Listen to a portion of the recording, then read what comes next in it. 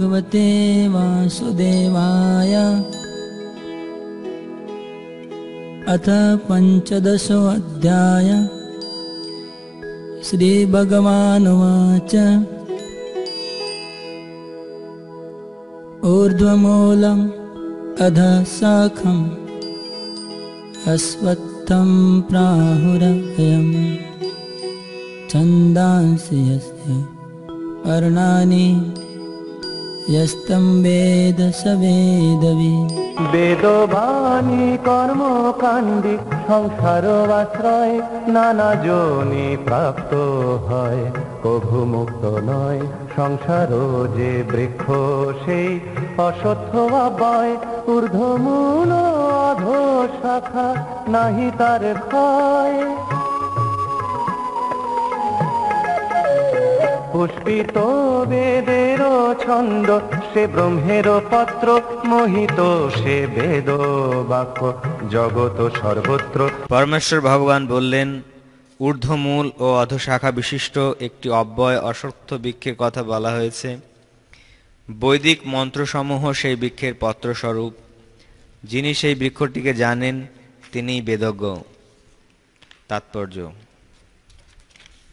ভক্তিযোগের গুরুত্ব আলোচনা করার পর কেউ প্রশ্ন করতে পারে, তাহলে বেদের অর্থ কি? এ অধ্যায়ে বর্ণনা করা হচ্ছে যে বেদ অধ্যয়ন করার উদ্দেশ্য হচ্ছে পরমেশ্বর ভগবান শ্রীকৃষ্ণকে জানা। সুতরাং যিনি কৃষ্ণ ভাবনাময়, যিনি ভগবানের ভক্তিযুক্ত সেবায় নিযুক্ত হয়েছেন, তিনি ইতিমধ্যেই বেদের পূর্ণ জ্ঞান আহরণ করেছেন। জড়জগতের বন্ধনকে এখানে একটি অশক্ত বৃক্ষের সঙ্গে তুলনা করা হয়েছে। যে সকাম কর্মে রত, তার কাছে এই অশক্ত বৃক্ষটির কোনো শেষ নেই। সে এক ডাল থেকে আরেক ডালে, সেখান থেকে অন্য এক ডালে, আবার আরেক ডালে, এভাবেই সে ঘুরে বেড়ায়। এই জড় জগৎরূপী বৃক্ষটির কোনো অন্ত নেই, এবং যে এই বৃক্ষটির প্রতি আসক্ত, তার পক্ষে মুক্তিলাভের কোনোই সম্ভাবনা নেই। মানুষকে ঊর্ধ্বমুখী করবার জন্য যে বৈদিক ছন্দ তাকে এই বৃক্ষের পাতা রূপে বর্ণনা করা হয়েছে। এই বৃক্ষের মূলটি ঊর্ধ্বমুখী, কারণ তার শুরু হয়েছে যেখানে ব্রহ্মা অধিষ্ঠিত সেখান থেকে। অর্থাৎ এই ব্রহ্মাণ্ডের সর্বোচ্চ গ্রহলোক থেকে। কেউ যখন মায়াময় এই অব্যয় বৃক্ষটির সম্বন্ধে অবগত হতে পারেন, তখন তিনি তার বন্ধন থেকে মুক্ত হতে পারেন। মুক্ত হওয়ার এই পন্থাটিকে ভালোভাবে উপলব্ধি করা উচিত। পূর্ববর্তী অধ্যায়গুলিতে জড়জগতের বন্ধন থেকে মুক্ত হওয়ার নানা রকম পন্থা বর্ণিত হয়েছে এবং ত্রয়োদশ অধ্যায় পর্যন্ত আমরা দেখেছি যে ভক্তিযোগে পরমেশ্বর ভগবানের সেবা করাই হচ্ছে সর্বোৎকৃষ্ট পন্থা। এখন ভক্তিযোগের মূল তত্ত্ব হচ্ছে জড়জাগতিক কর্মে অনাসক্তি এবং ভগবানের অপ্রাকৃত সেবার প্রতি আসক্তি। এই অধ্যায়ের শুরুতে জড়জগতের প্রতি আসক্তির বন্ধন ছিন্ন করার পন্থা বর্ণনা করা হয়েছে। এই জড় অস্তিত্বের মূল ঊর্ধ্বমুখী, তার অর্থ হচ্ছে, এই ব্রহ্মাণ্ডের সর্বোচ্চ লোকে মহত্তত্ত্বের জড়জাগতিক অস্তিত্ব থেকে তার শুরু হয়। সেখান থেকে গ্রহমণ্ডলরূপী বিভিন্ন শাখা সারা ব্রহ্মাণ্ড জুড়ে ছড়িয়ে পড়ে। তার ফল হচ্ছে জীবের কর্মফল, যেমন ধর্ম, অর্থ, কাম ও মোক্ষ। এখন এই জগতে এমন কোনো গাছের অভিজ্ঞতা আমাদের নেই, যার শাখা নিম্নমুখী আর মূল ঊর্ধ্বমুখী, কিন্তু সেটি আছে। সেই গাছ দেখতে পাওয়া যায় একটি জলাশয়ের ধারে। আমরা দেখতে পাই যে জলাশয়ের তীরের বৃক্ষগুলির শাখা নিম্নমুখী ও মূল ঊর্ধ্বমুখী হয়ে জলে প্রতিবিম্বিত হয়। পক্ষান্তরে বলা যায়, এই জড়জগতের বৃক্ষটি হচ্ছে চিৎ জগতের বাস্তব বৃক্ষটির প্রতিবিম্ব। জলে যেমন বৃক্ষের ছায়া পড়ে তেমনই চিৎ জগতের ছায়া পড়ে আমাদের কামনার উপর। প্রতিবিম্বিত জড় আকাশে বস্তুর অবস্থিতির কারণ হচ্ছে কামনা বাসনা। এই জড় অস্তিত্বের বন্ধন থেকে যে মুক্ত হতে চায়, তাকে অবশ্যই পুঙ্খানুপুঙ্খভাবে বিশ্লেষণ করার মাধ্যমে এই বৃক্ষটি সম্বন্ধে যথার্থভাবে জানতে হবে, তাহলে তার বন্ধন সে ছিন্ন করতে পারে। এই বৃক্ষটি বাস্তব বৃক্ষটির প্রতিবিম্ব হওয়ার ফলে তার অবিকল প্রতিরূপ। চিৎ জগতে সব কিছুই আছে নির্বিশেষবাদীরা মনে করে যে জড় জগৎরূপী বৃক্ষের মূল হচ্ছে ব্রহ্ম এবং সাংখ্য দর্শন অনুযায়ী সেই মূল থেকে প্রকৃতি ও পুরুষ, তারপর প্রকৃতির তিনটি গুণ, তারপর পঞ্চমহাভূত, তারপর দর্শেন্দ্রীয় মন আদির প্রকাশ হয়। এভাবেই তারা সমস্ত জড়জগৎকে চব্বিশটি উপাদানে বিভক্ত করে। ব্রহ্ম যদি সমস্ত প্রকাশের কেন্দ্র হন তাহলে এই জড়জগতের প্রকাশ হচ্ছে কেন্দ্র থেকে একশো আশি ডিগ্রি বা একটি অর্ধবৃত্ত এবং অপর একশো আশি ডিগ্রি বা অপর অর্ধাংশ হচ্ছে চিৎ জগৎ জড়জগৎ যদি বিকৃত প্রতিবিম্ব হয়, তাহলে চিৎ জগতে অবশ্যই সে একই ধরনের বৈচিত্র্য রয়েছে। কিন্তু তা রয়েছে বাস্তবভাবে। প্রকৃতি হচ্ছে ভগবানের বহিরঙ্গা শক্তি এবং পুরুষ হচ্ছে ভগবান স্বয়ং। সেই কথা ভগবদ্গীতায় ব্যাখ্যা করা হয়েছে।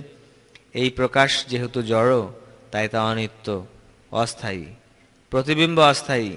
কেননা কখনো কখনো তাকে দেখা যায়, আবার কখনো কখনো তাকে দেখা যায় না। কিন্তু তার উৎস, যেখান থেকে প্রতিবিম্ব প্রতিবিম্বিত হচ্ছে, তা নিত্য। জড় আকাশে সেই বৃক্ষের জড় প্রতিবিম্বটি কেটে বাদ দিতে হবে। যখন বলা হয় যে কেউ বেদ সম্বন্ধে জানেন, তখন অনুমান করা হয় যে এই জড়জগতের আসক্তি কীভাবে ছিন্ন করা যায়, তা তিনি জানেন। এই পন্থা যিনি জানেন, তিনি হচ্ছেন যথার্থ বেদজ্ঞ। বেদের কর্মকাণ্ডের প্রতি যে আকৃষ্ট, বুঝতে হবে সে বৃক্ষটি সবুজ পত্রের প্রতি আকৃষ্ট। বেদের যথার্থ উদ্দেশ্য সম্বন্ধে সে অবগত নয়। বেদের উদ্দেশ্য পরম পুরুষ নিজেই বর্ণনা করেছেন। তা হচ্ছে, প্রতিবিম্ব বৃক্ষটি কেটে বাদ দিয়ে চির জগতের বাস্তব বৃক্ষটি লাভ করা। प्रसृतास्तस्य शाखा। गुणप्रवृत्ता विषयप्रवाला अधश्च मूलान्यनुसन्ततानि कर्मानुबन्धे निमनुष्य लोके বৃক্ষেরও সে শাখালি ঊর্ধ্ব অধোগতি গুণেরও বসেতে যার যথাবিধিমতি সে বৃক্ষেরও শাখা যত বিষয়েরও ভোগ, নিজ কর্ম অনুসারে যত ভবরোগ। বদ্ধ জীব ঘুরে সেই বৃক্ষ ডালে ডালে মনুষ্য লোক সে ভুঞ্জে নিজ কর্ম ফলে এই বৃক্ষের শাখা সমূহ জড়া প্রকৃতির তিনটি গুণের দ্বারা পুষ্ট হয়ে অধদেশে ও ঊর্ধ্ব দেশে বিস্তৃত। ইন্দ্রিয়ের বিষয় সমূহই এই শাখাগণের পল্লব। এই বৃক্ষের মূলগুলি অধদেশে প্রসারিত এবং সেগুলি মনুষ্য লোকে সকাম কর্মের বন্ধনে আবদ্ধ। তাৎপর্য। সেই অশক্ত বৃক্ষটির বর্ণনা সম্বন্ধে এখানে পুনরায় ব্যাখ্যা করা হচ্ছে। তার ডালপালাগুলি চতুর্দিকে ছড়িয়ে রয়েছে। তার নিম্নাংশে মানুষ, পশু, গরু, ঘোড়া, কুকুর, বেড়াল আদি বৈচিত্র্যময় জীবের বিভিন্ন প্রকাশ হয়েছে। এরা অধমুখী শাখাগুলিতে অবস্থিত এবং ঊর্ধ্বমুখী শাখাগুলিতে রয়েছে দেবতা, গন্ধর্ব আদি উচ্চ প্রজাতির জীবসমূহ। বৃক্ষ যেমন জলের দ্বারা পুষ্ট হয় তেমনি এই বৃক্ষটি পুষ্ট হয় জরা প্রকৃতির তিনটি গুণের দ্বারা। কখনো কখনো আমরা দেখি যে জলের অভাবে কোনো কোনো জমি অনুর্বর, আবার কোনো কোনো জমি খুব উর্বর। তেমনি জরা প্রকৃতির গুণের মাত্রা অনুসারে বিভিন্ন জায়গায় ভিন্ন ভিন্ন রকম প্রজাতির প্রকাশ হয়। সেই বৃক্ষের পল্লবগুলি হচ্ছে ইন্দ্রিয়ের বিষয়সমূহ। প্রকৃতির বিভিন্ন গুণের বিকাশের ফলে ভিন্ন ভিন্ন ইন্দ্রিয়ের বিকাশ হয়। এবং ইন্দ্রিয়ের দ্বারা আমরা নানা রকম ইন্দ্রিয়ের বিষয় উপভোগ করি। চক্ষু, কর্ণ, নাসিকা, জিহ্বা আদি ইন্দ্রিয়গুলি হচ্ছে ডালপালার ডগা, যা বিভিন্ন ইন্দ্রিয়গ্রাহ্য বিষয়গুলি উপভোগের প্রতি আসক্ত। তার পল্লবগুলি হচ্ছে শব্দ, রূপ, স্পর্শ আদি ইন্দ্রিয় বিষয় বা তন্মাত্র। তার শাখামূলগুলি হচ্ছে নানা রকম সুখ ও দুঃখজাত আসক্তি ও বিরক্তি। সর্বদিকে বিস্তৃত গৌণ মূলগুলি থেকে ধর্ম ও অধর্ম পাপ ও পুণ্যকর্ম করার প্রবণতা উদয় হয়। মুখ্য মূলটি আসছে ব্রহ্মলোক থেকে এবং অন্যান্য মূলগুলি রয়েছে মনুষ্য গ্রহলোকগুলিতে। উচ্চতর লোকে গিয়ে পুণ্যকর্মের ফল ভোগ করার পর সে আবার এই পৃথিবীতে ফিরে আসে। চাদম পুরুষম প্রপদ্যে প্রবৃত্তি। प्रसृता पुराणी ক্ষুদ্র বুদ্ধি মনুষ্য সে সীমা নাহি পায় অনন্ত আকাশে তার আদি অন্ত নয় কিবা রূপ সে বৃক্ষের তাহা নাহি বুঝে অনন্ত কালেরও মধ্যে জীব যুদ্ধ যুঝে সে অসত্য বৃক্ষ হয় সুদৃঢ় যে মূল সে মূল কাটিতে হয় শত শত ভুল। অনাশক্তি এক অস্ত্র সে মূল কাটিতে, সেই সে যে দৃঢ় অস্ত্র সংসার জিনিতে। কাটিয়া সে বৃক্ষমূল সত্যের সন্ধান, ভাগ্যক্রমে যার হয় তাতে অবস্থান। সে যায় বৈকুণ্ঠ লোকে, ফিরে নাহি আসে। এ বৃক্ষের মূল যথা সে পুরুষ পাশে।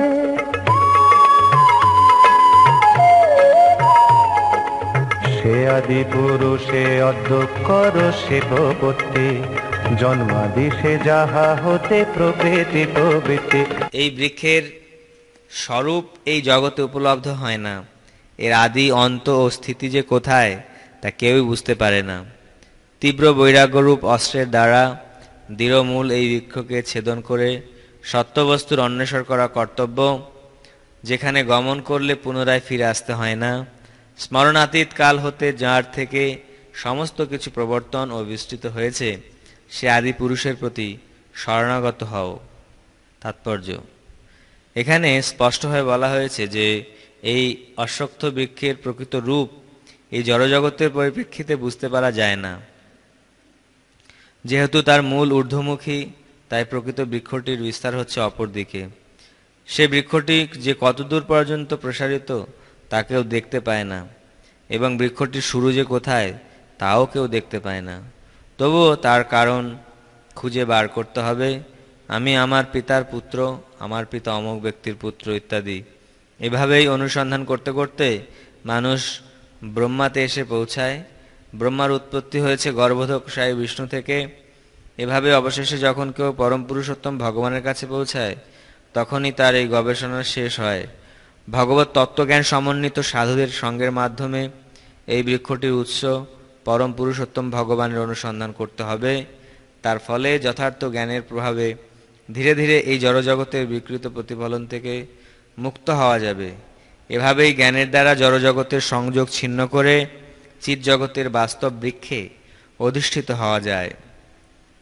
এই প্রসঙ্গে অসঙ্গ কথাটি অত্যন্ত গুরুত্বপূর্ণ, কারণ ইন্দ্র সুখ ভোগ করার এবং জড়জগতের উপর আধিপত্য করার আসক্তি অত্যন্ত প্রবল। তাই প্রামাণ্য শাস্ত্রের ভিত্তিতে ভগবত তত্ত্ববিজ্ঞান আলোচনা করার মাধ্যমে এবং যথার্থ জ্ঞানী ব্যক্তির কাছ থেকে ভগবানের কথা শ্রবণ করার মাধ্যমে বিষয়ের প্রতি অনাসক্ত হওয়ার শিক্ষা গ্রহণ করতে হবে। ভক্ত সঙ্গে এই ধরনের আলোচনা করার ফলে পরম পুরুষোত্তম ভগবানের সমীপবর্তী হওয়া যায়। তারপর সর্বপ্রথমে যা অবশ্য করণীয়, তা হচ্ছে তার শ্রীচরণ আরবিন্দ আত্মসমর্পণ করা। সেই পরম ধামের বর্ণনায় এখানে বলা হয়েছে যে, একবার সেখানে গেলে এই প্রতিবিম্বরূপী বৃক্ষে আর ফিরে আসতে হয় না। পরম পুরুষোত্তম ভগবান শ্রীকৃষ্ণ হচ্ছেন আদি মূল যার থেকে সব কিছু প্রকাশিত হয়েছে। সেই পরমেশ্বর ভগবানের কৃপা লাভ করতে হলে কেবলমাত্র আত্মসমর্পণ করতে হবে। এই আত্মসমর্পণই হচ্ছে শ্রবণ, কীর্তন আদি নববিধা ভক্তি অনুশীলনের চরম পরিণতি। এই জড়জগতের বিস্তারের কারণ হচ্ছেন ভগবান। ভগবান নিজে ইতিমধ্যে সেই সম্বন্ধে ব্যাখ্যা করে বলেছেন, অহম সর্বস্ব প্রভব। আমি সব কিছুরই উৎস।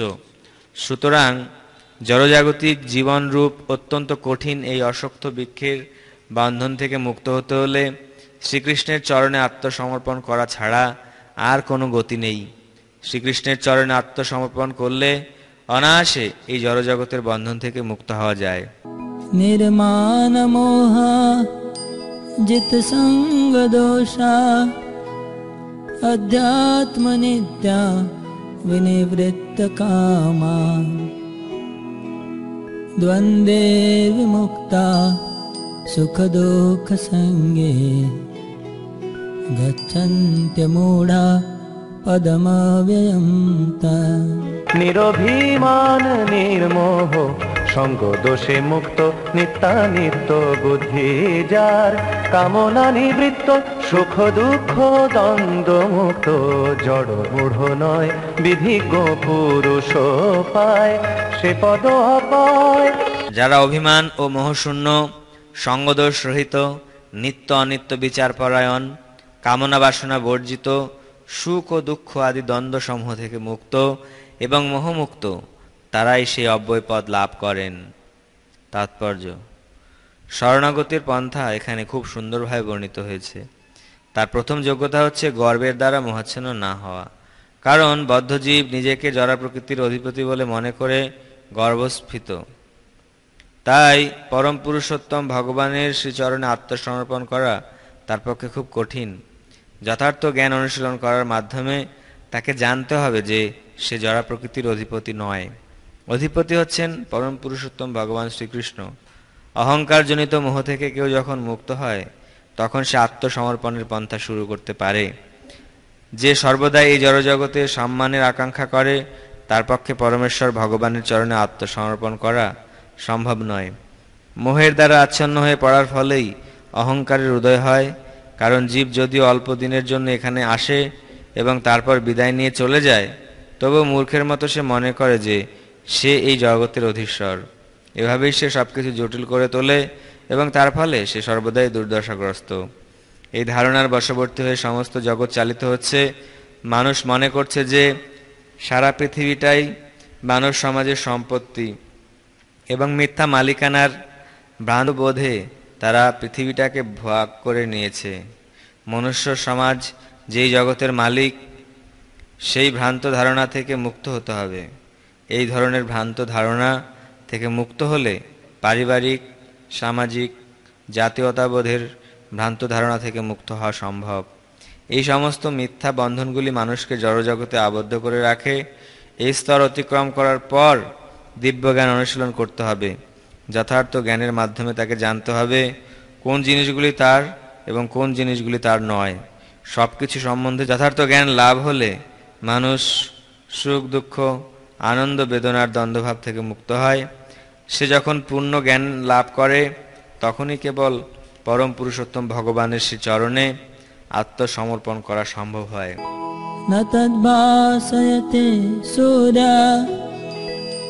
न शशाङ्क न पावक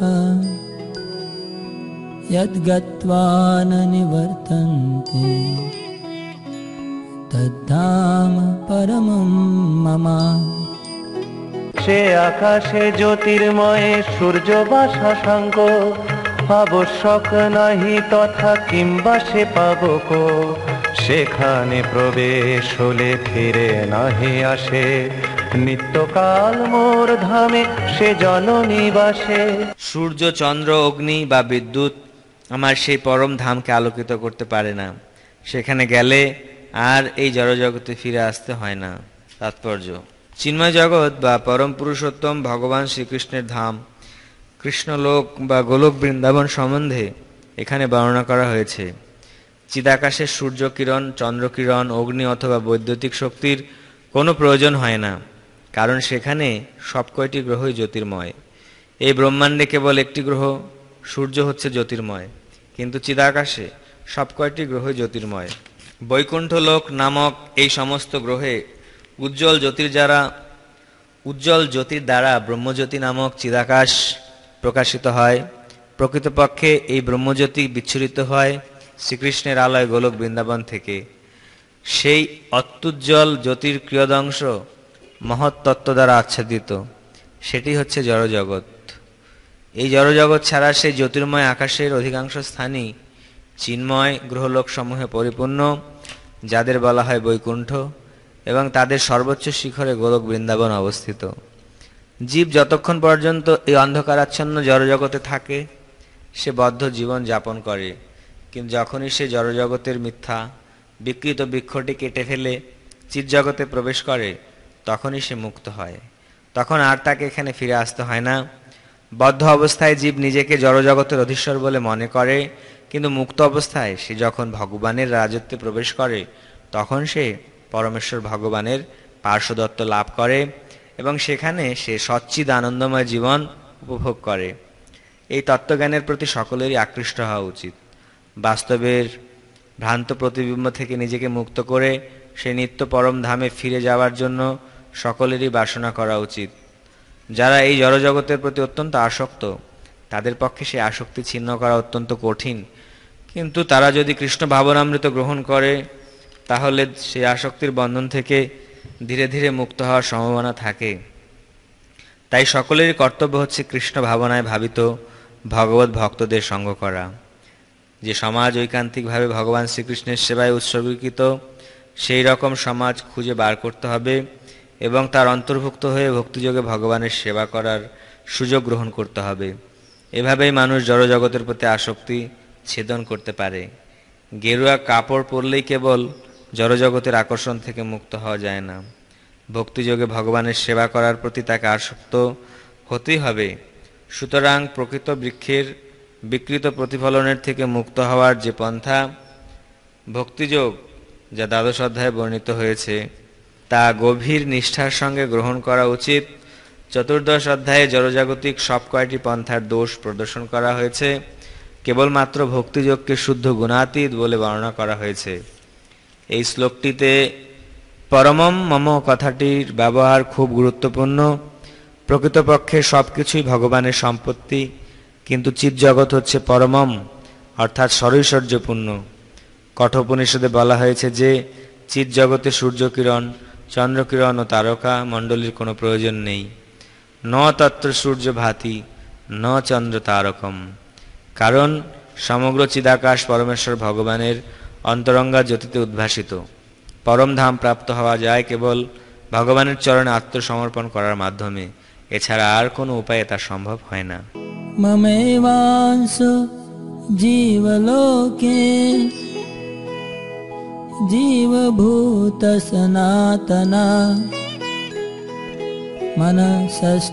मनषष्ठानीन्द्रियाणि प्रकृतिस्थानि कर्षति যত জীব মোর অংশ নহে সে অপর সনাতন তার সত্তা জীব লোকে ঘোর এখানে সে মন আর ইন্দ্রিয় বন্ধনে কর্ষণ করয়ে কত প্রকৃতির স্থানে। এই জড়জগতে বদ্ধ জীবসমূহ আমার সনাতন বিভিন্নাংশ। জরা প্রকৃতির বন্ধনে আবদ্ধ হওয়ার ফলে তারা মন সহ ছয়টি ইন্দ্রিয়ের দ্বারা প্রকৃতিরূপ ক্ষেত্রে কঠোর সংগ্রাম করছে। তাৎপর্য, এই শ্লোকটিতে জীবের যথার্থ পরিচয় সম্বন্ধে বর্ণনা করা হচ্ছে, সনাতনভাবে জীব হচ্ছে ভগবানের অতি ক্ষুদ্র বিভিন্নাংশ। এমন নয় যে বদ্ধ অবস্থায় জীব স্বতন্ত্র হয়ে পড়ে এবং মুক্ত অবস্থায় সে ভগবানের সঙ্গে একীভূত হয়ে যায়। সনাতনভাবে জীবসত্তা ভগবানের অতি ক্ষুদ্রাতি ক্ষুদ্র অংশস্বরূপ।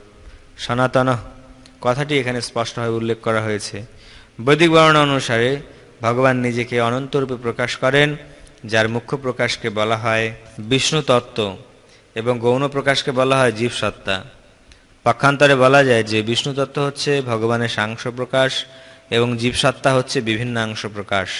তার সাংস প্রকাশে তিনি রামচন্দ্র, নৃসিংহদেব, বিষ্ণুমূর্তি এবং বিভিন্ন বৈকুণ্ঠ লোকের অধীশ্বর আদি নানারূপে প্রকাশিত হন। বিভিন্ন অংশ প্রকাশ জীবসমূহ ভগবানের নিত্য দাস। পরম পুরুষোত্তম ভগবানের সাংস প্রকাশ সমূহের স্বতন্ত্র স্বরূপগুলি নিত্য বর্তমান। তেমনি বিভিন্নাংশ জীবদেরও স্বতন্ত্র পরিচয় রয়েছে। ভগবানের ক্ষুদ্রাতি ক্ষুদ্র অংশ হওয়ার ফলে ভগবানের গুণাবলীর অনুসদৃশ্য অংশ জীবদের মধ্যেও রয়েছে, যার মধ্যে স্বাতন্ত্র হচ্ছে একটি। স্বতন্ত্র আত্মারূপে প্রতিটি জীবেরই ব্যক্তিগত স্বাতন্ত্র ও ক্ষুদ্র স্বাধীনতা রয়েছে।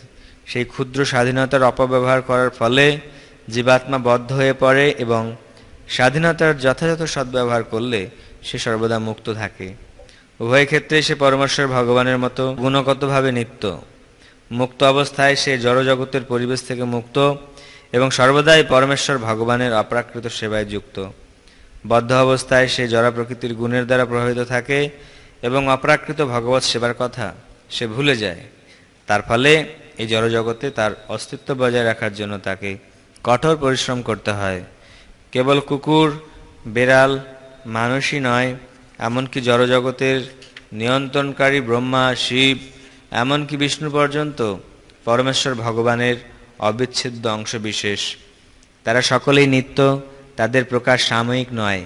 এখানে করসতি, সংগ্রাম করা অথবা জোর করে আঁকড়ে ধরা, কথাটি খুব তাৎপর্যপূর্ণ। বদ্ধ জীব যেন লৌহ শৃঙ্খলের মতো অহংকারের দ্বারা শৃঙ্খলিত এবং তার মন হচ্ছে তার মুখ্য প্রতিনিধি, যে তাকে জড় অস্তিত্বের দিকে ধাবিত করছে। মন যখন সত্যগুণে অধিষ্ঠিত থাকে, তখন তার কার্যকলাপ শুদ্ধ হয়। মন যখন রজগুণে অধিষ্ঠিত থাকে, তখন তার কার্যকলাপ পীড়াদায়ক হয় এবং মন যখন তমগুণে থাকে, তখন সে নিম্নতর প্রজাতি রূপে বিচরণ করে। এই শ্লোকে একটি স্পষ্ট হয়ে বোঝা যাচ্ছে যে, বদ্ধ জীবাত্মা মন ও ইন্দ্রিয় সমন্বিত জড় দেহের দ্বারা আবৃত এবং সে যখন মুক্ত হয়, তখন এই জড় আবরণ বিনাশপ্রাপ্ত হয়। কিন্তু তার স্বরূপ সমন্বিত চিন্ময় দেহ নিজস্ব সামর্থ্যে প্রকাশিত হয়।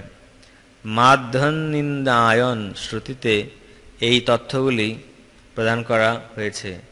স বা এইস ব্রহ্মনিষ্ঠ, ইদম শরীরম মর্তম অতি সৃজ্য ব্রহ্মভীষ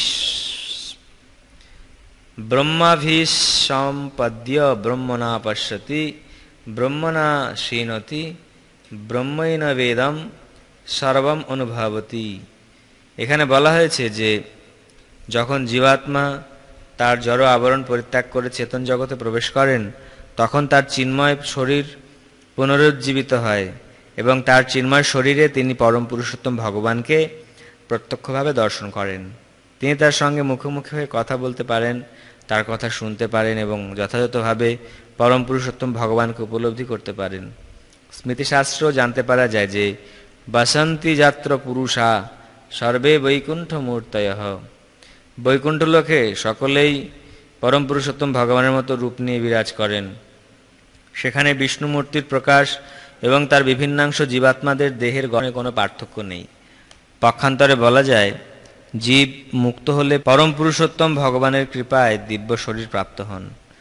এখানে মাময়ী বাংশ পরমেশ্বর ভগবানের ক্ষুদ্র ক্ষুদ্র অংশ। কথাটি অত্যন্ত তাৎপর্যপূর্ণ। পরমেশ্বর ভগবানের অনুসদৃশ অংশ কোনো জড় পদার্থের ভাঙা অংশের মতো নয়। দ্বিতীয় অধ্যায়ে আমরা ইতিমধ্যে জানতে পেরেছি যে আত্মাকে খণ্ড খণ্ড করে কাটা যায় না। এই অনুসদৃশ অংশকে জড়বুদ্ধি দিয়ে উপলব্ধি করা যায় না। এটি জড় পদার্থের মতো নয়। যা কেটে টুকরো টুকরো করা যায়, তারপর আবার জোড়া লাগিয়ে দেওয়া যায়। সেই ধারণা এখানে প্রযোজ্য নয়, কারণ এখানে সংস্কৃত সনাতন নিত্য কথাটি ব্যবহার করা হয়েছে। ভগবানের অনুসদৃশ্য অংশগুলিও নিত্য। দ্বিতীয় অধ্যায়ের প্রথম দিকে এটিও বলা হয়েছে যে প্রতিটি দেহে ভগবানের অনুসদৃশ অংশ আত্মা বর্তমান থাকে। দেহীন অস্মিন যথা দেহে।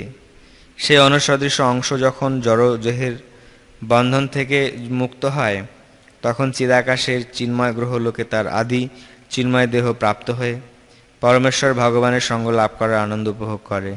এখানে অবশ্য এটি বোঝা যাচ্ছে যে পরমেশ্বর ভগবানের অনুসদৃশ অংশ হওয়ার ফলে জীব গুণগতভাবে ভগবানের সঙ্গে এক যেমন সোনার একটি কণাও সোনা शरीरं यदवाप्नोति यच्चाप्युत्क्रामति स्वरा गृहीत्वेतानि संयाति वायुर्गन्धानि গন্ধানিবাসয়া। বারবার কত দেহ সে যে প্রাপ্ত হয় এক দেহ ছাড়ে আর অন্যে প্রবেশ হয়। বায়ু বায়ুগন্ধ যথা যায় স্থান স্থানান্তরে কর্মফল সূক্ষ্ম সেই দেহ দেহান্তরে বায়ু যেমন ফুলের গন্ধ নিয়ে অন্যত্র গমন করে তেমনি এই জড়জগতে দেহের ঈশ্বর জীব এক শরীর থেকে অন্য শরীরে তার জীবনের বিভিন্ন ধারণাগুলি নিয়ে যায়। তাৎপর্য। এখানে জীবকে ঈশ্বর বা তার দেহের নিয়ন্তা বলে বর্ণনা করা হয়েছে। সে যদি ইচ্ছা করে, তাহলে সে তার দেহকে উচ্চতর শ্রেণীতে পরিবর্তন করতে পারে। এবং সে যদি ইচ্ছা করে, তাহলে নিম্নতর শ্রেণীতে অধপতিত হতে পারে। তার অতি ক্ষুদ্র স্বাতন্ত্র্য এই ক্ষেত্রে আছে। তার শরীরের সমস্ত পরিবর্তন নির্ভর করে তার সেই স্বাতন্ত্র্যের উপর তার চেতনাকে সে যেভাবে গড়ে তুলেছে, মৃত্যুর পর তা তাকে পরবর্তী শরীরে নিয়ে যাবে। তার চেতনাকে যদি সে একটি কুকুর বা একটি বেড়ালের চেতনার মতো করে গড়ে তোলে, তাহলে সে অবশ্যই কুকুর অথবা বেড়ালের শরীর প্রাপ্ত হবে। কেউ যদি তার চেতনাকে দিব্য গুণাবলীতে ভূষিত করে, তাহলে সে দেবতাদের মতো শরীর প্রাপ্ত হবে। এবং সে যদি কৃষ্ণ ভাবনাময় হয়, তাহলে সে অপ্রাকৃত কৃষ্ণলোকে স্থানান্তরিত হয়ে শ্রীকৃষ্ণের সঙ্গ লাভ করবে। দেহের নাশ হয়ে যাওয়ার সঙ্গে সঙ্গে যে দেহের সব কিছুরই নাশ হয়ে যায়, সেই ধারণা ভ্রান্ত। জীবাত্মা এক দেহ থেকে অন্য দেহে দেহান্তরিত হচ্ছে এবং তার বর্তমান শরীর ও বর্তমান কার্যকলাপ তার পরবর্তী শরীরের পটভূমি। কর্ম অনুসারে জীব একটি ভিন্ন দেহ প্রাপ্ত হয় এবং যথাসময়ে তাকে সেই শরীর ত্যাগ করতে হয়। এখানে বলা হয়েছে যে সূক্ষ্ম শরীর যা পরবর্তী শরীরের ধারণা বহন করে তা পরবর্তী জীবনে অন্য একটি শরীরে বিকশিত হয়। এক দেহ থেকে অন্য দেহে দেহান্তরিত হবার এই পন্থা এবং দেহের সংগ্রামকে বলা হয় করসতি বা জীবন সংগ্রাম। শ্রোত্রম চক্ষু স্পর্শনম চা রসনম ঘ্রাণমেব চা। অধিষ্ঠায় মনশ্চায় বিষয়ানুপসেবতে শরীরের অনুসার শ্রবণ দর্শন স্পর্শন রসন আর। ঘ্রাণ বামন সে শরীরে জীব করে বিষয় সেবন বাধ্য জীব করে সেই সংসার ভ্রমণ। এই জীব চক্ষু কর্ণ ত্বক জিহ্বা নাসিকা ও মনকে আশ্রয় করে ইন্দ্রিয়ের বিষয়সমূহ উপভোগ করে। তাৎপর্য। পক্ষান্তরে বলা যায়, জীব যদি তার চেতনাকে কুকুর বেড়ালের প্রবৃত্তির দ্বারা কলুষিত করে তোলে, তাহলে পরবর্তী জীবনে সে কুকুর বা বেড়ালের মতো শরীর প্রাপ্ত হয়ে তাদের মতো দেহসুখ ভোগ করবে। চেতনা চেতনা মূলত জলের মতো নির্মল। কিন্তু জলের সঙ্গে যদি কোনো রং মেশানো হয়, তাহলে জল রঙিন হয়ে যায়। অনুরূপভাবে চেতনা নির্মল, কেননা আত্মা পবিত্র। কিন্তু জরা প্রকৃতির গুণের সংস্রবে আসার ফলে চেতনা কলুষিত হয়ে পড়ে। প্রকৃত চেতনা হচ্ছে কৃষ্ণ চেতনা। তাই কেউ যখন কৃষ্ণ চেতনায় অধিষ্ঠিত হন, তখন তিনি তার নির্মল জীবনে অবস্থান করেন। কিন্তু নানা রকম জাগতিক মনোবৃত্তির দ্বারা চেতনা যদি কলুষিত হয়ে পড়ে, তাহলে পরবর্তী জীবনে তিনি তদনুরূপ দেহ প্রাপ্ত হন। তিনি যে পুনরায় মনুষ্য শরীর প্রাপ্ত হবেন, তার কোনো নিশ্চয়তা নেই।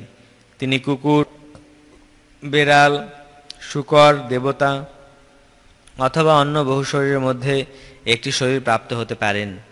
এরকম চুরাশি লক্ষ বিভিন্ন প্রকার প্রজাতির শরীর রয়েছে। উৎক্রামন্তম স্থিতম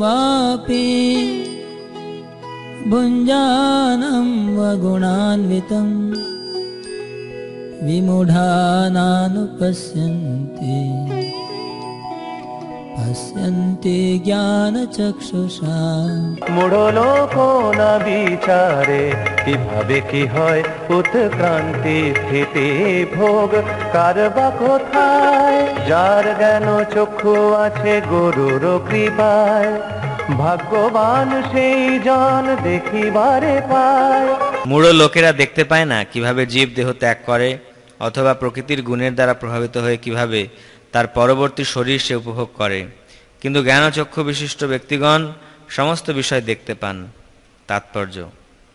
জ্ঞান ও চক্ষুষ কথাটি অত্যন্ত তাৎপর্যপূর্ণ। জ্ঞান বিনা কেউই বুঝতে পারে না কীভাবে জীব তার বর্তমান শরীরটি ত্যাগ করে এবং পরবর্তী জীবনে সে কী রকম শরীর ধারণ করে। এমনকি এটিও বুঝতে পারে না কেন সে একটি বিশেষ ধরনের শরীর অবস্থান করছে। এই তত্ত্বসমূহ উপলব্ধি করবার জন্য গভীর জ্ঞানের প্রয়োজন, যা সদ্গুরুর মুখারবিন্দ থেকে ভগবদ্গীতা ও তদনুরূপ শাস্ত্র শ্রবণ করার মাধ্যমে লাভ করা যায়। এই সমস্ত তত্ত্বজ্ঞান উপলব্ধি করার শিক্ষা যিনি লাভ করেছেন, তিনি অত্যন্ত ভাগ্যবান। প্রতিটি জীবই কোনো বিশেষ অবস্থায় তার শরীর ত্যাগ করছে, কোনো বিশেষ অবস্থায় সে জীবন ধারণ করছে এবং জরা প্রকৃতির মোহে আচ্ছন্ন হয়ে সে বিশেষ অবস্থায় ইন্দ্রিয় সুখ ভোগ করার চেষ্টা করছে। এবং পরিণামে সে নানা রকম সুখ ও দুঃখ ভোগ করছে। যারা অনন্তকাল ধরে কাম ও বাসনার দ্বারা মোহিত হয়ে আছে, তারা কেন এক বিশেষ দেহে অবস্থান করছে এবং কেনই বা সেই দেহ ত্যাগ করে অন্য দেহে দেহান্তরিত হচ্ছে, তা উপলব্ধি করার সমস্ত শক্তি হারিয়ে ফেলে। সেটি তাদের বোধগম্য হয় না। কিন্তু যার হৃদয়ে দিব্যজ্ঞানের প্রকাশ হয়েছে, তিনি দর্শন করতে পারেন যে আত্মা দেহ থেকে ভিন্ন এবং সর্বদাই তার দেহের পরিবর্তন হচ্ছে এবং চিন্ময় স্বরূপে তার আত্মা নিত্য আনন্দ অনুভব করছে। এই জ্ঞান যিনি প্রাপ্ত হয়েছেন, তিনিই বুঝতে পারেন কীভাবে বদ্ধ জীব এই জড়জগতে দুর্দশা ভোগ করছে। সুতরাং কৃষ্ণ ভাবনায় উন্নতি সাধনের ফলে যাদের চেতনা খুব উন্নত হয়েছে, তারা জনসাধারণকে এই জ্ঞান দান করবার জন্য যথাসাধ্য চেষ্টা করেন, কারণ বদ্ধ জীবের দুর্দশাগ্রস্ত অবস্থা দেখে তারা মর্মাহত হন। বদ্ধ জীবের অবস্থা অত্যন্ত ক্লেশদায়ক তাই তাদের কর্তব্য হচ্ছে এই বদ্ধ অবস্থা অতিক্রম করে কৃষ্ণ চেতনা লাভ করা এবং জড়জগতের বন্ধন থেকে নিজেদের মুক্ত করে অপ্রাকৃত জগতে প্রত্যাবর্তন করা यतन्तो योगिनश्चेनं पश्यन्त्यात्मनवस्थितम् यतन्तोऽप्यकृतात्मानो নয়নম পশ্যন্ত চেতসা।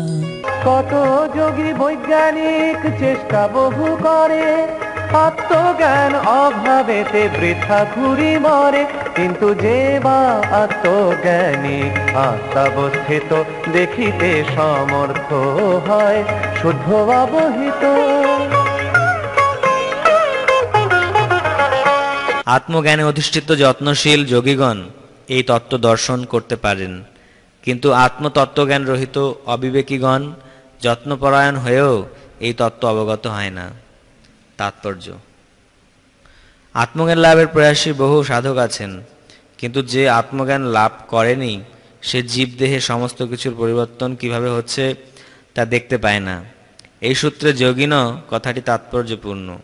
আধুনিক যুগে তথাকথিত অনেক যোগী আছে এবং তথাকথিত বহু যোগাশ্রম আছে, কিন্তু আত্মতত্ত্বজ্ঞানের ব্যাপারে তারা বাস্তবিক অন্ধ।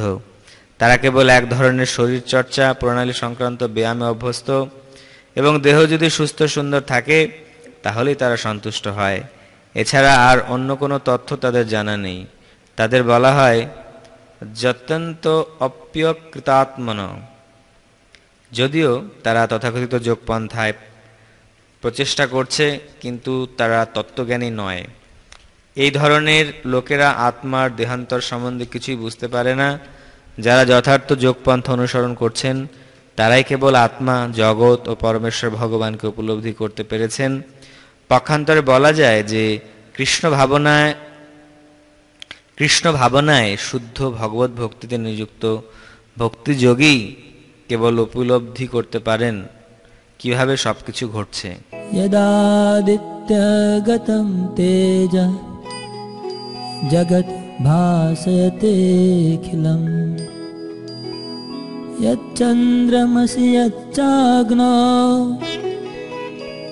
तत्तेजो विद्धि मामकम् এই যে সূর্যের তেজ অখিল জগতে, চন্দ্রের কিরণ কিংবা আছে ভালো মতে, আমারও প্রভাব সেই আভাস সে হয়, আমি যাকে আলো দি সে আলো পায়। সূর্যের যে জ্যোতি এবং চন্দ্র অগ্নির যে জ্যোতি সমগ্র জগৎকে উদ্ভাসিত করে, তা আমারই তেজ বলে জানবে তাৎপর্য। যারা নির্বোধ তারা বুঝতে পারে না কীভাবে সব কিছু ঘটছে। ভগবান এখানে যা ব্যাখ্যা করেছেন তা উপলব্ধি করার মাধ্যমে যথার্থ জ্ঞানের সূচনা হয়। সূর্য, চন্দ্র, অগ্নি ও বৈদ্যুতিক শক্তি সকলেই দেখতে পায়। মানুষকে কেবল এটি বুঝতে চেষ্টা করতে হবে যে সূর্যের উজ্জ্বল জ্যোতি, চন্দ্রের স্নিগ্ধ কিরণ, বিদ্যুতিক আলোক ও অগ্নির দীপ্তি সবই আসছে পরম পুরুষোত্তম ভগবানের থেকে। জীবনের ভাবধারায় কৃষ্ণ ভাবনার সূচনা এই জড়জগতে বদ্ধ জীবের প্রগতি অনেক অংশে নির্ভর করে। জীব অপরিহার্য রূপে পরমেশ্বর ভগবানের অবিচ্ছেদ্য বিভিন্ন অংশ, এবং এখানে তিনি ইঙ্গিত দিচ্ছেন কীভাবে তারা তাদের আপন আলয় ভগবত ধামে ফিরে যেতে পারে। এই শ্লোকটির মাধ্যমে আমরা জানতে পারি যে সূর্য সমস্ত সৌরমণ্ডলকে আলোকিত করছে। অনেক অনেক ব্রহ্মাণ্ড আছে এবং সৌরমণ্ডল আছে, যেখানে ভিন্ন ভিন্ন সূর্য রয়েছে চন্দ্র রয়েছে এবং গ্রহ রয়েছে। তবে প্রত্যেক ব্রহ্মাণ্ডে একটি মাত্র সূর্যই আছে। ভগবদ্গীতায় বলা হয়েছে যে চন্দ্র হচ্ছে নক্ষত্রদের মধ্যে অন্যতম। নক্ষত্র নাম অহম শশী।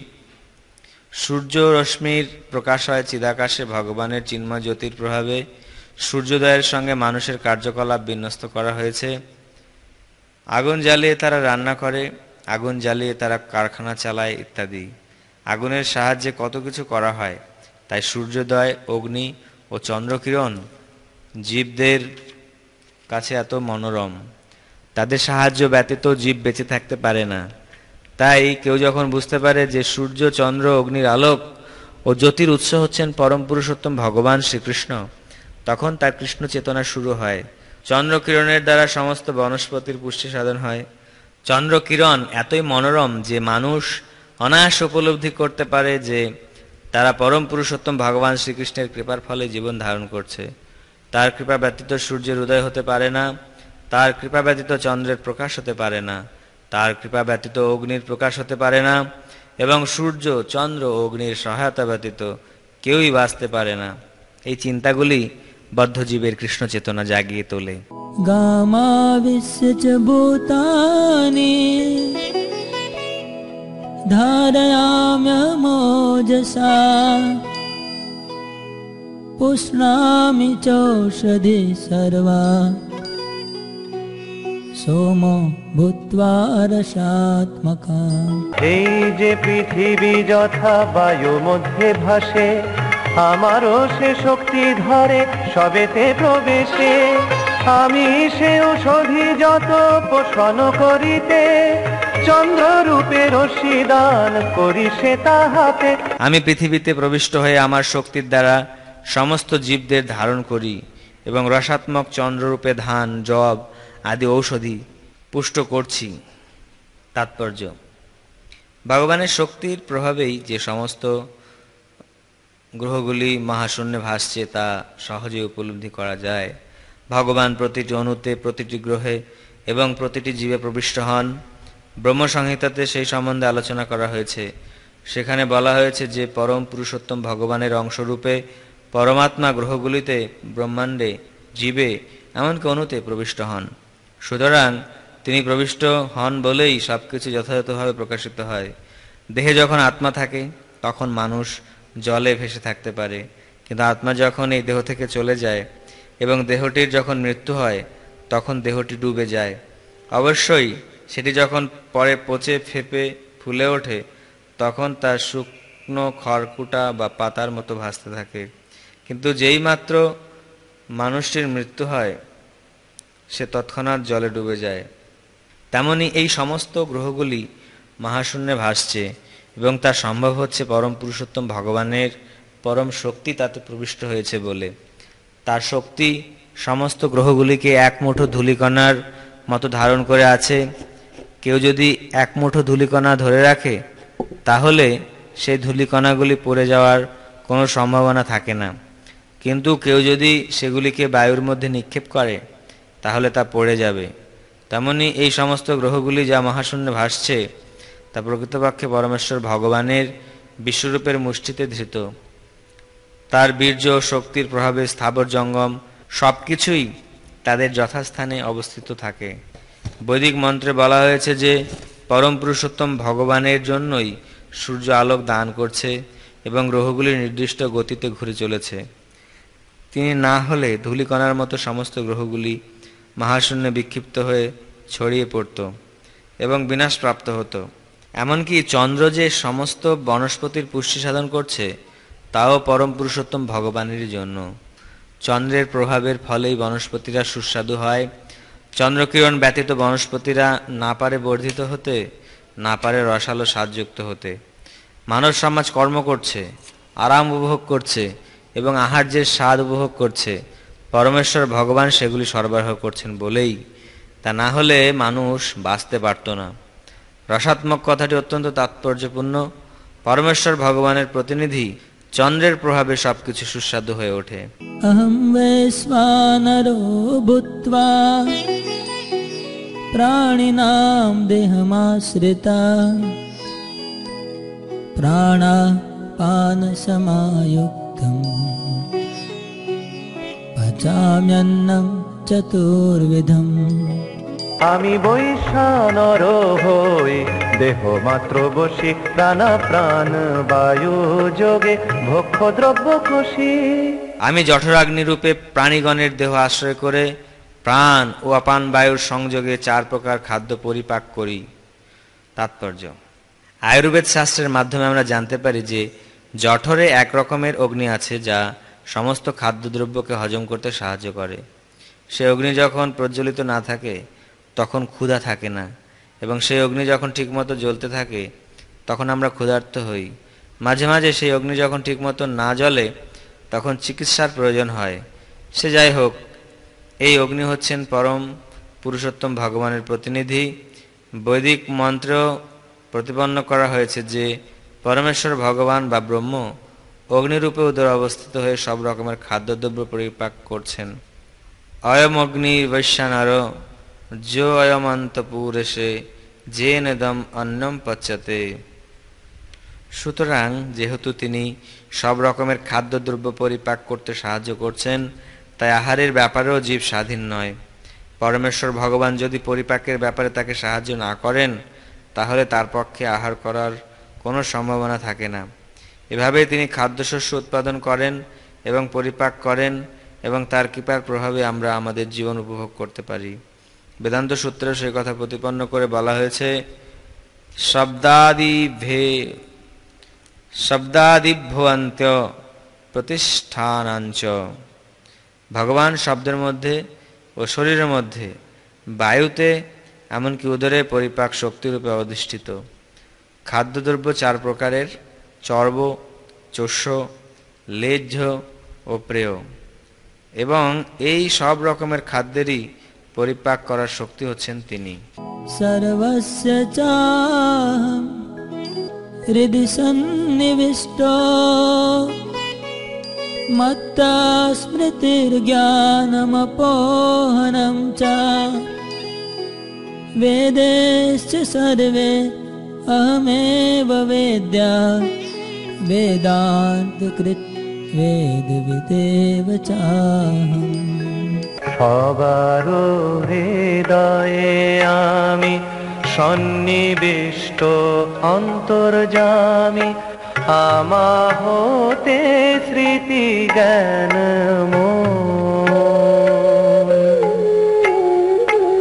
আমি সে জাগাই কারে, আমি সে ভুলাই কারে আমা হতে হয়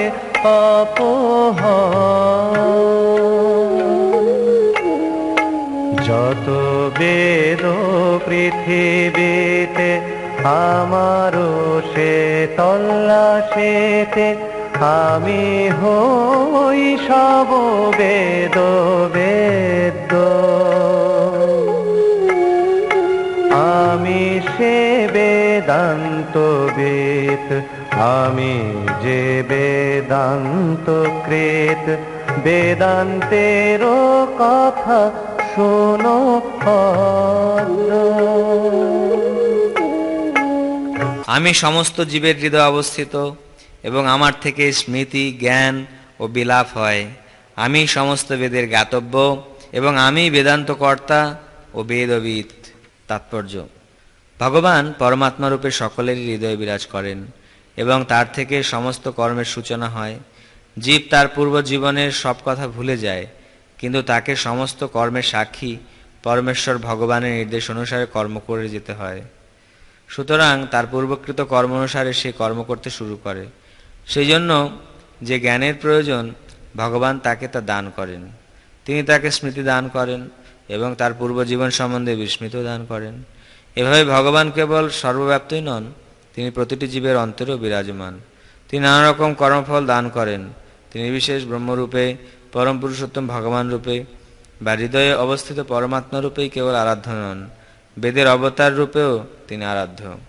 বেদ মানুষকে সঠিক নির্দেশ প্রদান করে, যাতে তারা যথাযথভাবে তাদের জীবনকে গড়ে তুলতে পারে এবং তাদের প্রকৃত আলয় ভগবদ্ধামে ফিরে যেতে পারে।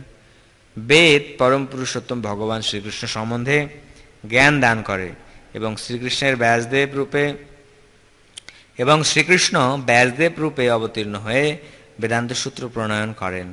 ব্যাসদেবের বেদান্ত সূত্রের ভাষ্য শ্রীমৎ ভাগবতী হচ্ছে বেদান্ত সূত্রের যথার্থ তত্ত্ব উপলব্ধি পরমেশ্বর ভগবান এতই পূর্ণ যে বদ্ধজীবের উদ্ধারের জন্য তিনি হচ্ছেন তার খাদ্যদ্রব্যের সরবরাহকারী, পাচনকারী, তার কর্মের সাক্ষী, বেদরূপে তার জ্ঞান প্রদাতা এবং পরম পুরুষোত্তম ভগবান শ্রীকৃষ্ণ রূপে ভগবদ গীতার শিক্ষক। তিনি বদ্ধ জীবাত্মার আরাধ্য।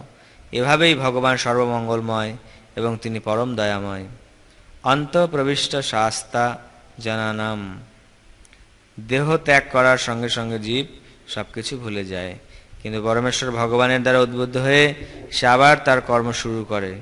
যদিও সে তার পূর্বজন্মের সব কথা ভুলে যায়, তবুও যেখানে সে তার কর্ম শেষ করেছিল, সেখান থেকে আবার শুরু করবার জন্য ভগবান তাকে বুদ্ধি দান করেন সুতরাং হৃদয় অবস্থিত পরমেশ্বর ভগবানের নির্দেশ অনুসারে জীব যে কেবল জাগতিক সুখ দুঃখ ভোগ করে তা নয়, তার কাছ থেকে বৈদিক জ্ঞান উপলব্ধি করার সুযোগও সে পায়। কেউ যদি বৈদিক জ্ঞান লাভে গভীরভাবে প্রয়াসী হয়, তাহলে শ্রীকৃষ্ণ তাকে উপযুক্ত বুদ্ধিও দান করেন। আমাদের উপলব্ধির জন্য কেন তিনি বৈদিক জ্ঞান দান করেছেন?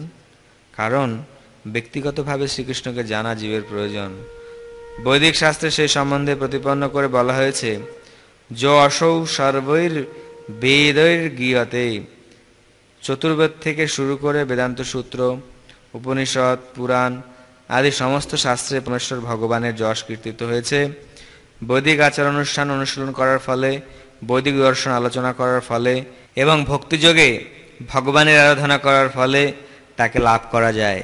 সুতরাং বেদের উদ্দেশ্য হচ্ছে শ্রীকৃষ্ণকে জানা। বেদ আমাদের ভগবান শ্রীকৃষ্ণকে উপলব্ধি করার নির্দেশ দেয়। এবং পথ প্রদর্শন করে পরম পুরুষোত্তম ভগবান হচ্ছেন পরম লক্ষ্য। সেই কথা প্রতিপন্ন করে বেদান্ত সূত্রে বলছে, তত্তু সমন্বয়াত তিনটি পর্যায়ে পরিপূর্ণতা অর্জন করা যায়। বৈদিক শাস্ত্র উপলব্ধি করার মাধ্যমে পরম পুরুষোত্তম ভগবানের সঙ্গে নিত্য সম্পর্কের কথা জানতে পারা যায়। বিভিন্ন পদ্ধতি অনুসরণের মাধ্যমে ভগবানের দিকে অগ্রসর হওয়া যায় এবং অবশেষে জীবনের পরম লক্ষ্য, পরম পুরুষোত্তম ভগবানের শ্রী পাদপদ্মে উপনীত হওয়া যায়। এই শ্লোকে বেদের উদ্দেশ্য, বেদের উপলব্ধি এবং বেদের লক্ষ্য স্পষ্টভাবে বর্ণনা করা হয়েছে।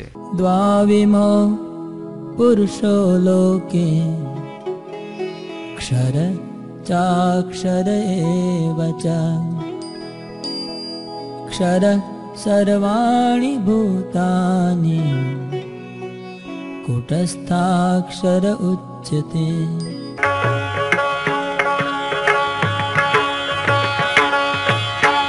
বদ্ধ মুক্ত পুরুষ সে হয় দ্বিপ্রকার। দুই নামে পরিচিত সে খর অক্ষর। বদ্ধ জীব যত হয় তার খর নাম। অক্ষর কুটস্থ জীব নিত্য মুক্ত ধাম। খর অক্ষর দুই প্রকার জীব রয়েছে। এই জড়জগতের সমস্ত জীবকে খর এবং চিৎজগতের সমস্ত জীবকে অক্ষর বলা হয় তাৎপর্য। পূর্বেই বর্ণিত হয়েছে যে ব্যাসদেব রূপে অবতরণ করে ভগবান বেদান্ত সূত্র প্রণয়ন করেন। এখানে ভগবান সংক্ষেপে বেদান্ত সূত্রে সারমর্ম বর্ণনা করেছেন। তিনি বলছেন যে জীব যা সংখ্যায় অনন্ত, তাদের দুটি শ্রেণীতে বিভক্ত করা যায়, খর ও অক্ষর। জীব হচ্ছে ভগবানের সনাতন বিভিন্ন অংশ। তারা যখন জড়জগতের সংস্পর্শে থাকে তখন তাদের বলা হয় জীবভূত এবং সংস্কৃত খর সর্বাণী ভূতানি। কথাটির অর্থ হচ্ছে তারা খর। কিন্তু যারা পরম পুরুষোত্তম ভগবানের সঙ্গে একাত্মভাবে যুক্ত, তাদের বলা হয় অক্ষর। একাত্মভাবে যুক্ত কথাটির অর্থ এই নয় যে তাদের কোনো ব্যক্তি স্বাতন্ত্র্য নেই, কিন্তু তার অর্থ হচ্ছে যে তারা ভগবানের থেকে বিচ্ছিন্ন নন। সৃষ্টির উদ্দেশ্যকে তারা সকলেই মেনে নিয়েছেন। অবশ্য চিৎ জগতে সৃষ্টি বলে কিছু নেই। তবে বেদান্ত সূত্রের বর্ণনা অনুসারে পরম পুরুষোত্তম ভগবান হচ্ছেন সমস্ত সৃষ্টির উৎস। তাই সেই ধারণাই এখানে ব্যাখ্যা করা হয়েছে।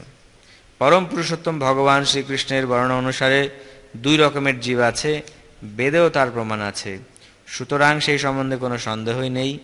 যে সমস্ত জীব এই জড়জগতে মন ও পঞ্চ ইন্দ্রিয় নিয়ে সংগ্রাম করছে, তাদের জড়দেহ আছে, যা তাদের বদ্ধ অবস্থায় প্রতিনিয়তই পরিবর্তিত হচ্ছে। জীব যতক্ষণ বদ্ধ থাকে, জ্বরের সংস্পর্শে আসার ফলে তার দেহের পরিবর্তন হয়। জড়দেহের পরিবর্তন হয় তাই মনে হয় যেন জীবের পরিবর্তন হচ্ছে। কিন্তু চিৎ জগতে জড় পদার্থ দিয়ে শরীর তৈরি হয় না, তাই সেখানে কোনো পরিবর্তন নেই। জড় জগতে জীবের ছয়টি পরিবর্তন হয়, জন্ম, বৃদ্ধি, স্থিতি, বংশবৃদ্ধি, ক্ষয় ও বিনাশ। এগুলি জড় শরীরের পরিবর্তন। কিন্তু চিৎ জগতে দেহের কোনো পরিবর্তন হয় না। সেখানে জড়া নেই, জন্ম নেই এবং মৃত্যু নেই। সেখানে সব কিছু একত্বভাবে অবস্থান করে, খর সর্বাণী ভূতানি। পিতামহ ব্রহ্মা থেকে শুরু করে একটি ছোট্ট পিঁপড়ে পর্যন্ত যে এই জড় স- জগতের সংস্পর্শে এসেছে, তারা সকলেই দেহ পরিবর্তন করছে। তাই তারা সকলেই খর। চিৎ জগতে সকলেই একত্বভাবে সর্বদা অক্ষর বা उत्तमा पुरुषस्त्वन्या परमात्मेत्युदारिता यो लोकत्रयमाविश्य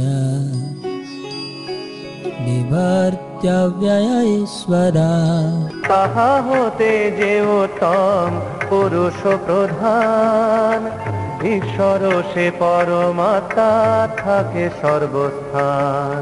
এই উভয় থেকে ভিন্ন উত্তম পুরুষকে বলা হয় পরমাত্মা, যিনি ঈশ্বর ও অব্যয় এবং ত্রিজগতের মধ্যে প্রবিষ্ট হয়ে পালন করছেন। তাৎপর্য, এই শ্লোকটির ধারণা কঠোপনিষদে ও শ্বেতাশ্বতর উপনিষদে খুব সুন্দরভাবে বর্ণিত হয়েছে। সেখানে স্পষ্টভাবে বলা হয়েছে যে, বদ্ধ, মুক্ত, অনন্ত কোটি জীবের ঊর্ধ্বের হচ্ছেন পরম পুরুষ, যিনি হচ্ছেন পরমাত্মা। উপনিষদের শ্লোকটি হচ্ছে, নিত্য নিত্যানাম চেতনশ্চেতনা নাম এ তাৎপর্য হচ্ছে যে, বদ্ধ, মুক্ত, উভয় প্রকার জীবের মধ্যেই একজন পরম, প্রাণময় পুরুষ রয়েছেন।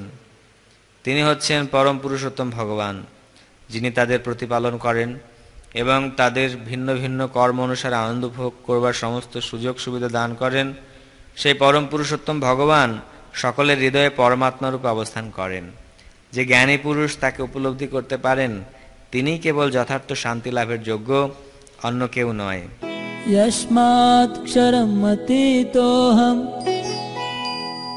अक्षरादपि चोत्तमा अतोऽस्मि लोके वेदे च নথিতা পুরুষোত্তমা। খর বায় খর হতে আমি সে উত্তম। অতবেব ঘোষিত নাম পুরুষোত্তম। যেহেতু আমি খরের অতীত এবং অক্ষর থেকে উত্তম সেই হেতু জগতে ও বেদে আমি পুরুষোত্তম নামে বিখ্যাত। তাৎপর্য পরম পুরুষোত্তম ভগবান শ্রীকৃষ্ণকে কেউ অতিক্রম করতে পারে না। বদ্ধ জীবেও না, মুক্ত জীবেও না। অতএব তিনি হচ্ছেন পুরুষদের মধ্যে সর্বশ্রেষ্ঠ উত্তম পুরুষ। এখন স্পষ্টভাবে এখানে বোঝা যাচ্ছে যে জীব ও পরম পুরুষোত্তম ভগবান উভয়ই স্বতন্ত্র। পার্থক্যটি হচ্ছে যে বদ্ধ অবস্থাতে হোক অথবা মুক্ত অবস্থাতে হোক, জীবেরা পরম পুরুষোত্তম ভগবানের অচিন্ত শক্তিসমূহকে কোনো পরিমাণেই অতিক্রম করতে পারে না। পরমেশ্বর ভগবান ও জীবকে সমপর্যায়ভুক্ত বা সর্বতভাবে সমান বলে মনে করা ভুল। তাদের ব্যক্তি সত্তায় সর্বদাই ঊর্ধ্বতন ও অধস্তনের প্রশ্ন থেকে যায়। উত্তম শব্দটি এখানে খুব তাৎপর্যপূর্ণ। পরমেশ্বর ভগবানকে কেউ অতিক্রম করতে পারে না। লোকে, কথাটির তাৎপর্য হচ্ছে, পৌরুষ ও আগমে। নিরক্তি অভিধানে প্রতিপন্ন করা হয়েছে লোকতে বেদার্থ অনেন। বেদের উদ্দেশ্য স্মৃতিশাস্ত্রে ব্যাখ্যা করা হয়েছে। পরমেশ্বর ভগবান তার পরমাত্মারূপী প্রাদেশিক প্রকাশরূপে বেদেও বর্ণিত হয়েছেন। বেদে নিম্নলিখিত শ্লোকটি উল্লেখ করা হয়েছে তাবদীশ সং প্রসাদ অস্মাৎ শরীরাত সমুত্থায় পরম জ্যোতিরূপম সম্পদ্যস্যেন রূপেণাভিনিষ্পদ্যতে স উত্তম পুরুষ দেহ থেকে বেরিয়ে এসে পরমাত্মা, দেহ থেকে বেরিয়ে এসে পরমাত্মা নির্বিশেষ ব্রহ্মজ্যোতিতে প্রবেশ করেন। তখন তিনি তার চিন্ময় স্বরূপে অবস্থান করেন। সেই পরমেশ্বরকে বলা হয় পরম পুরুষ অর্থাৎ পরম পুরুষ তার চিন্ময় জ্যোতি প্রদর্শন ও বিকিরণ করেন, যা হচ্ছে পরম জ্যোতি। সেই পরম পুরুষোত্তমই পরমাত্মা রূপে সকলের হৃদয়ে বিরাজ করেন। সত্যবতী ও পরাশরের সন্তান ব্যাসদেব রূপে অবতীর্ণ হয়ে তিনি বৈদিক জ্ঞান দান করেছেন। জানাতে পুরুষোত্তমা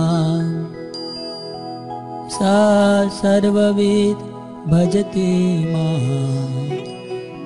সর্বভাবেন ভারতা যে মোরে বুঝিল শ্রেষ্ঠ সে পুরুষোত্তম। সকল সন্দেহ ছাড়ি হইল উত্তম। সে জানিল সর্ববেদ নির্মল হৃদয়। হে ভারত, সর্বভাবে সে মোরে ভজয়।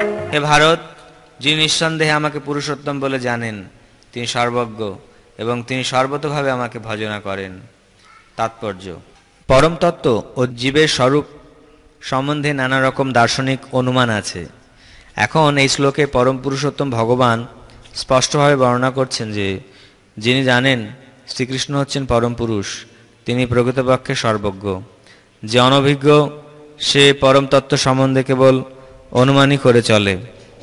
কিন্তু যথার্থ জ্ঞানী তার অমূল্য সময়ের অপচয় না করে সরাসরিভাবে কৃষ্ণ ভাবনাময় ভগবত ভক্তিতে নিজেকে নিযুক্ত করেন। সমগ্র ভগবত গীতার সর্বত্রই এই তত্ত্বের উপর জোর দেওয়া হচ্ছে। কিন্তু তবু ভগবত গীতার বহু উদ্ধত হটকারী ভাষ্যকারীরা মনে করে যে পরম তত্ত্ব ও জীব এক ও অভিন্ন। বৈদিক জ্ঞানকে বলা হয় শ্রুতি, অর্থাৎ শ্রবণের মাধ্যমে শিক্ষা। প্রামাণিক সূত্র শ্রীকৃষ্ণ ও তার প্রতিনিধির কাছ থেকেই কেবল বৈদিক জ্ঞান লাভ করা উচিত। এখানে শ্রীকৃষ্ণ খুব সুন্দরভাবে সব কিছুর পার্থক্য বর্ণনা করেছেন। এবং এই সূত্র থেকে সকলেরই শ্রবণ করা উচিত। নির্বোধের মতো কেবল শ্রবণ করা যথেষ্ট নয়, সাধু গুরু বৈষ্ণবের কৃপা লাভ করে তা উপলব্ধি করতে হবে।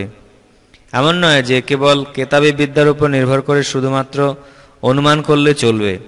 বিনীতভাবে ভগবদ্গীতা থেকে শ্রবণ করতে হবে যে জীব সর্বদাই পরম পুরুষ ভগবানের অধীন তত্ত্ব। পরম পুরুষোত্তম ভগবান শ্রীকৃষ্ণের বর্ণনা অনুসারে যিনি এই তত্ত্ব উপলব্ধি করতে সক্ষম হয়েছেন তিনি বেদের যথার্থ উদ্দেশ্য সম্বন্ধে অবগত হতে পেরেছেন। তাছাড়া আর কেউই বেদের উদ্দেশ্য সম্বন্ধে অবগত নয়। ভজতি শব্দটি অত্যন্ত গুরুত্বপূর্ণ। পরমেশ্বর ভগবানের সেবা সম্পর্কে অনেক জায়গায় ভজতি শব্দটির ব্যবহার করা হয়েছে। কেউ যখন পূর্ণ কৃষ্ণ ভাবনাময় হয়ে ভগবত ভক্তিতে নিযুক্ত হন, তখন বুঝতে হবে যে তিনি ইতিমধ্যেই সমস্ত বৈদিক জ্ঞান উপলব্ধি করতে পেরেছেন। বৈষ্ণব পরম্পরায় বলা হয় যে কেউ যখন ভক্তিযোগে ভগবান শ্রীকৃষ্ণের সেবায় নিযুক্ত হন, তখন তাকে পরম তত্ত্ব উপলব্ধি করার জন্য অন্য কোনো আধ্যাত্মিক প্রক্রিয়া অনুশীলন করতে হয় না। তিনি ইতিমধ্যেই সেই স্তর উপনীত হয়েছেন, কারণ তিনি ভক্তিযোগে ভগবানের সেবায় নিয়োজিত। তার পক্ষে ভগবত তত্ত্ব উপলব্ধির সব কয়টি প্রারম্ভিক প্রক্রিয়ার সমাপ্তি হয়েছে। কিন্তু কেউ যদি শত সহস্র জীবন ধরে ভগবত তত্ত্ব সম্বন্ধে কেবল অনুমান করে শ্রীকৃষ্ণকে পরম পুরুষোত্তম ভগবান রূপ উপলব্ধির পর্যায়ে উপনীত না হয় এবং তার পাদাপদ্মে আত্মসমর্পণ করতে না পারে, তাহলে বহু বর্ষ ধরে তার যে এত সমস্ত অনুমান, তা কেবল সময়ের অপচয় মাত্র। ইতি গুয়াতমম শাস্ত্রম ইদমুক্তম ময়া নগা। বুদ্ধিমান कृतकृत्यश्च भारता এই সে শাস্ত্রের গূঢ় মর্ম কথা শুনো তুমি সে নিষ্পাপ হও শুদ্ধ তব মন ইহা যে বুঝিল ভাগ্যে হলো বুদ্ধিমান হে ভারত কৃত কৃত সে হলো মহান হে নিষ্পাপ অর্জুন হে ভারত এভাবেই সবচেয়ে গোপনীয় শাস্ত্র আমি তোমার কাছে প্রকাশ করলাম, যিনি এই তত্ত্ব অবগত হয়েছেন, তিনি প্রকৃত বুদ্ধিমান ও কৃতার্থ হন। তাৎপর্য। ভগবান এখানে স্পষ্টভাবে বর্ণনা করেছেন যে, এটি হচ্ছে সমস্ত দিব্য শাস্ত্রের সারমর্ম এবং পরম পুরুষোত্তম ভগবান যেভাবে তা দান করেছেন, ঠিক সেভাবেই তা উপলব্ধি করা উচিত। তার ফলে মানুষের বুদ্ধি বিকশিত হবে এবং সে পূর্ণরূপে দিব্য জ্ঞান উপলব্ধি করতে পারবে। পক্ষান্তরে বলা যায়, এই ভগবত দর্শন উপলব্ধি করার ফলে এবং ভক্তিযোগে ভগবানের সেবায় নিযুক্ত হওয়ার ফলে সকলেই জরা প্রকৃতির গুণের কলসতা থেকে মুক্ত হতে পারে। ভক্তিযোগ হচ্ছে পূর্ণ তত্ত্বজ্ঞান লাভের পন্থা। যেখানেই ভক্তিযোগ সাধিত হয়, সেখানে জড়জগতের কলসতা থাকতে পারে না। ভক্তিযোগে ভগবানের সেবা এবং ভগবান এক ও অভিন্ন কারণ তারা চিন্ময়।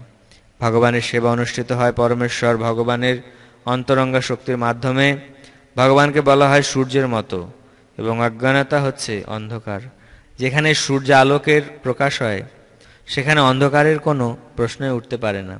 তাই সদ্গুরুর উপযুক্ত তত্ত্বাবধানে যখন ভক্তিযোগের অনুশীলন করা হয়, তখন অজ্ঞানতার কোনো প্রশ্নই থাকতে পারে না। সকলেরই উচিত এই কৃষ্ণ ভাবনা অনুশীলনের ব্রতী হওয়া।